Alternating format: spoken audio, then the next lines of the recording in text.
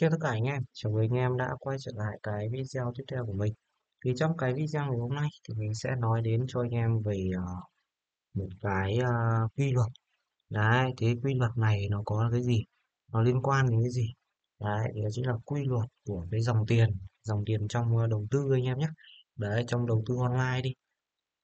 Đấy, trong đầu tư online kể cả đầu tư bên ngoài thì cái dòng tiền đấy từ đâu? Thì cái điều đầu tiên là anh em phải hiểu được cái dòng tiền nó nghĩa là cái gì và dòng tiền trong đầu tư nó có nghĩa là cái gì thì anh em mới có thể là biết được quy luật của nó.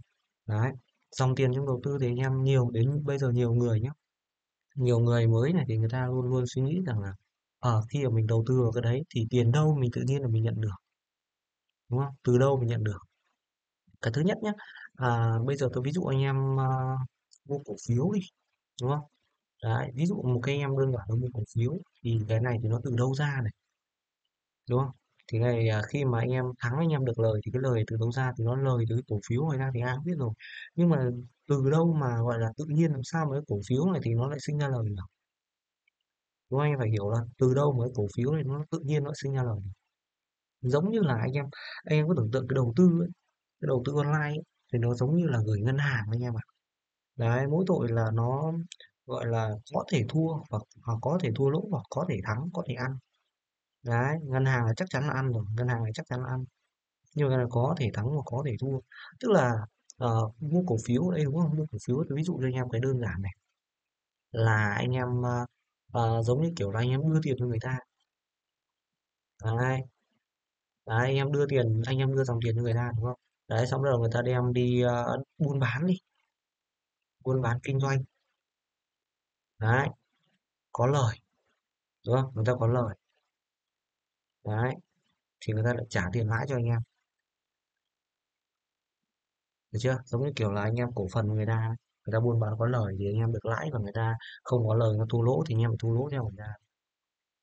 Đấy, đây là chính cái dòng tiền anh em nhé. Đây chính là chính cái dòng tiền mà mình chỉ nói, ví dụ cho anh em cái vấn đề là mua cổ phiếu thôi. Đấy, ngoài mua cổ phiếu ra thì anh em có thể là đầu tư online, đúng không? Đấy. Mua cổ phiếu và đầu tư online thì tức là anh em đưa tiền cho người ta này, được chưa? Xong người ta buôn bán kinh doanh, người ta có lời thì người ta trả tiền lãi cho anh em. Còn trong trường hợp người ta không có lời nha, đấy, không có lời này, tôi ví dụ anh em không có lời,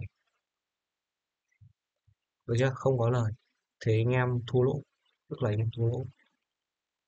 Tức là anh em không, người ta không trả tiền lãi cho anh em nữa, bởi vì anh em thua lỗ rồi mà anh em thua lỗ rồi thì ai người ta lại lại, lại trả tiền lãi cho anh em đúng không? Trừ khi người ta thắng thôi người ta đầu tư thắng thì người ta anh em sẽ sẽ sẽ có tiền tiền tiền lãi anh em nhé. Nhưng người ta đầu tư mà thua lỗ thì chắc chắn là anh em cũng sẽ thua lỗ người ta giống như kiểu là là là anh em đang anh em với người ta đang chung thuyền với nhau chung thuyền với nhau. Là một người được thì người kia cũng được mà người này mất thì người kia cũng mất đấy. Và anh em đang, đang là một người gọi là đi đường sau gọi là hỗ trợ người ta thôi chứ anh em không phải thực sự là một người um, gọi là, là là đứng ra để anh em đầu tư đứng ra để anh em gọi là kinh doanh. Đấy và cái kiếm tiền online này cái dòng tiền của kiếm tiền online và đầu tư online ấy, thì nó đến từ đấy anh em nhé. Đấy nó đến từ những cái vị trí như vậy và anh em đương nhiên thì anh em không thể nào là người đứng ra được rồi bởi vì anh em chỉ là một người đầu tư nhỏ thôi thì anh em không thể là người đứng ra được. Nếu như bây giờ anh em là một người đầu tư lớn với một quy, quy mô lớn thì anh em lại kêu gọi vốn đúng không?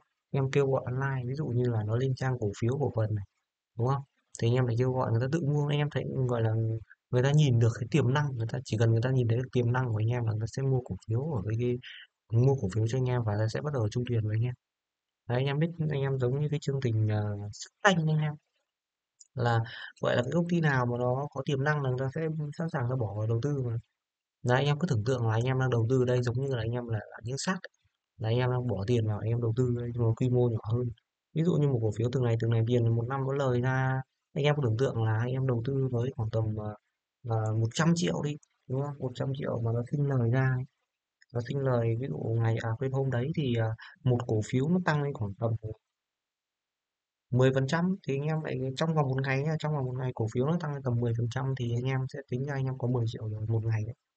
Còn nếu trong trường hợp nó lỗ thì anh em phải chấp nhận cái lỗ đấy và vậy anh em phải chờ nó lên thôi. Chứ còn thực chất là tôi chả mất đi đâu cả anh em ạ. Cổ phiếu của anh em anh em mua nó tính là cổ phiếu chứ nó không tính theo tiền anh em nhé. Ví dụ cổ phiếu anh em mua 10 cổ phiếu với giá 100 triệu, mỗi một cổ phiếu là 10 triệu thì một hôm cái cổ phiếu nó tăng lên đúng không? Thì anh em có thể là bán hoặc là anh em đợi nó tăng nữa thì anh em bán đúng không? Đấy chính là đầu tư online. còn ngoài cái đầu tư online đấy ra tức là anh em bỏ vốn vào thì anh em đầu tư nhé đúng không anh em đang bỏ cái vốn đấy vào để anh em tham gia anh em đầu tư online thì đấy chính là cái dòng tiền và quy luật của dòng tiền trong đầu tư online thì anh em phải hiểu được quy luật này. Anh em phải hiểu được quy luật này thì anh em có thể biết được thế anh em phải tìm được một cái nào có tiềm năng phải tìm được con app đúng không? Và đầu tư thì bây giờ chủ yếu người ta đầu tư online đầu, đầu tư trên app cả anh em mà cái app thì nó sẽ hiện những cái cái cái cái gọi là cửa để cho anh em vào anh em đầu tư anh em thích đầu tư cửa nào thì anh em đầu tư. Và nó sinh lời cho anh em nếu như thắng thì nó cũng cũng có lời với cái đầu tư đâu và thua thì anh em cũng thua lỗ giống như cái kia và đầu tư không có lời thì anh em lại cũng thua lỗ giống như cái này nói chung là hai cái thì nó cũng tương tương tự nhau nhỉ. Và kể cả là bây giờ anh em bán hàng online thì anh em bán hàng online em có lời thì anh em có còn anh em mà không bán được hàng anh em gọi tồn hàng đấy thì anh em lại xả lỗ đi đúng không? Xả lỗ đi thì anh em lại thua lỗ tiếp. Đấy nên là các loại kiếm tiền online thì đầu tư online hay là bán hàng online hay là cả những gì online ấy, thì nó chắc chắn là phải có lời nó phải có lời thì mình mới có lời được. Chứ bây giờ không không phải tự nhiên anh em đầu tư vào đấy là em chắc chắn có lời đâu. Chả lẽ người ta thua lỗ người ta vẫn trả lời cho anh em mà không có đâu anh em ạ. Cái đấy là nó dạng tích lũy rồi tích lũy là gửi ngân hàng hoặc là gửi những cái app tích lũy. Đấy thì người ta những từ những app đấy người ta cũng đem đi đầu tư nhưng mà người ta sẽ khẳng định chắc chắn là người ta sẽ trả lãi cho anh em. Kể cả đầu tư thắng đầu đầu đầu tư thua nó đem cái cái số tiền anh em cho người ta thì người ta cho vay. Giống anh em tưởng tượng với ngân hàng đấy ngân hàng đó ừ, anh em gửi ngân hàng. Đấy tức là người ta lấy cái số tiền của anh em gửi ấy. ví dụ anh em gửi ngân hàng, anh em gửi 10 triệu, đúng không? À anh em gửi ăn một tỷ đi. Một năm anh em à, ăn đâu đấy à, tôi cứ tính à, khoảng tầm 5 phần trăm một năm anh em kiếm được 50 triệu. Một tỷ một năm anh em kiếm được 50 triệu. 50 triệu thì trong vòng một năm đấy, thì người ta cũng cho một người khác vay một tỷ. Với lãi suất là 7 phần trăm hoặc là 10 phần trăm. 10 phần trăm một năm đúng không? Thì người ta đã ăn lời gấp đôi rồi tức là ừ, người ta có 100 triệu ta chia cho anh em 50 triệu là người ta 50 triệu. Đấy kiểu hiểu như thế. Anh em hiểu là cái quy luật của dòng tiền cái quy luật của dòng tiền trong đầu tư trong đầu tư tức là anh em đầu tư là anh em phải hiểu được quy luật của dòng tiền đấy thì anh em có thể đầu tư thành công được. Ví dụ như ngày trước mình thì mình cũng không để ý gì đâu nhưng mà à, sau một khoảng thời gian mình à, tham gia đầu tư thì cũng rút ra nhiều kinh nghiệm rồi anh em ạ và hiện nay thì mình đầu tư trên một con app à, kiếm tiền online thì anh em nào mà muốn à, đầu tư kiếm tiền online chung với mình thì anh em có thể là kéo xuống bên dưới bình luận cũng như là phần mô tả của video này. Anh em bấm vào đấy để anh em tham gia vào con app anh em đầu tư và kiếm tiền online cùng với mình ở trên con app đấy anh em nhé.